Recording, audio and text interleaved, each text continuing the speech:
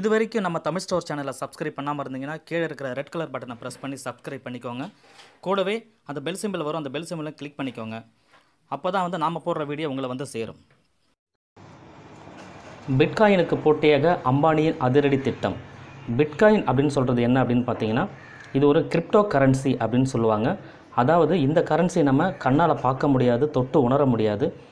அந்த மாதிரி சூழ்நிலையில் இருக்கிற ஒரு காயின் இது வந்து டேரெக்டாக இ வாலெட் மூலிமா தான் ட்ரான்ஸ்ஃபர்லாம் பண்ண முடியும் இன்டர்நெட் மூலிமா தான் ட்ரான்ஸ்ஃபர்லாம் பண்ண முடியும் டேரெக்டாக நம்ம கைக்கு கையில் இதை பார்க்க முடியாது இன்றைக்கி நம்ம வந்து ரூபாய் டாலர் அப்படின்னு நம்ம சொல்கிறோம் அந்த மாதிரி ஒரு வேல்யூலாம் இதுக்கு கிடையாது எந்த ஒரு நாட்டுக்கும் இது சொந்தமும் கிடையாது அதனால் பிட்காயின் அப்படின்றது இன்றைக்கி வந்து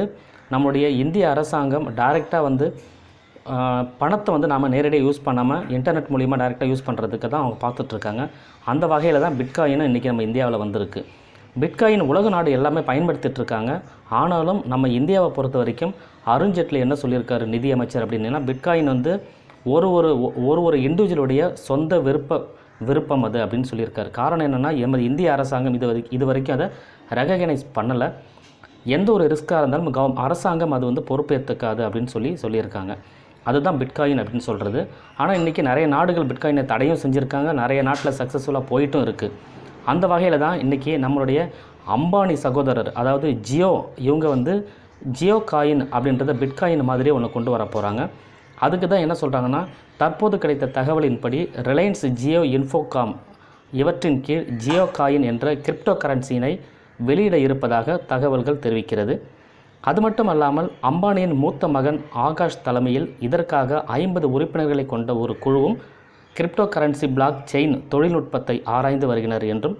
கூறப்படுகிறது தென்கொரியா உள்ளிட்ட சில நாடுகளில் பிட்காயினை தடை செய்த பிறகு அதன் மதிப்பு பல மடங்கு தற்போது சரிந்துள்ளது ஜியோ காயின் பற்றிய செய்தி செய்திகள் தற்போது வெளியாகியும் உள்ளது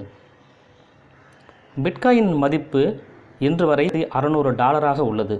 இதுவே சில வாரங்களுக்கு முன்பு கிட்டத்தட்ட இருபதாயிரம் டாலர்கள் வரை உயர்ந்தது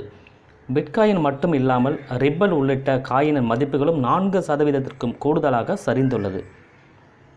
உலகம் முழுவதும் உள்ள அரசுகள் பிட்காயினை பாதுகாப்பு குறித்து தங்களது அச்சத்தினை தெரிவித்து வந்தாலும் தனிநபர்கள் இதில் முதலீடு செய்வது என்பது அதிகரித்து கொண்டே வருகிறது நிதி அமைச்சர் அருண் ஜெட்லி பிட்காயின் முதலீடு என்பது தனிநபரின் சொந்த ரிஸ்க் என்று தெரிவித்துள்ளார் இதற்கும் அரசுக்கும் எந்த தொடர்பும் கிடையாது என்றும் தெரிவித்துள்ளார் சட்டத்திற்கு இது உட்பட் உட்பட்டது அல்ல என்றும் பலமுறை அவரும் கூறியுள்ளார் லக்ஷ்மி காயின் என்ற பெயரில் ஆர்பிஐயும் கிரிப்டோ கரன்சி வெளியிட வெளியிட இருப்பதாக கூறியது ஆனால் அதில் பெரியதாக எந்த ஒரு மாற்றமும் வரவில்லை ஜியோவை பொறுத்தவரையில் ஜியோ காயின் என்ற முயற்சிகள் தற்போது துவக்க நிலையில் உள்ளதால்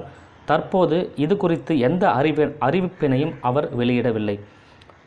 ஜியோ காயின் வந்தால் பிட்காயினை போன்று இது இருக்குமா என்பதை நாம் பொறுத்திருந்து தான் பார்க்க வேண்டும் இந்த வீடியோ உங்களுக்கு பிடிச்சிருந்தனா லைக் பண்ணுங்கள் உங்கள் ஃப்ரெண்ட்ஸுக்கு ஷேர் பண்ணுங்கள் மறக்காமல் சப்ஸ்கிரைப் பண்ணுங்கள் தேங்க்யூ ஃபார் வாட்சிங்